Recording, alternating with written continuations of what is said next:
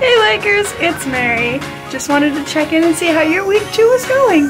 Stay tuned for some footage of mine.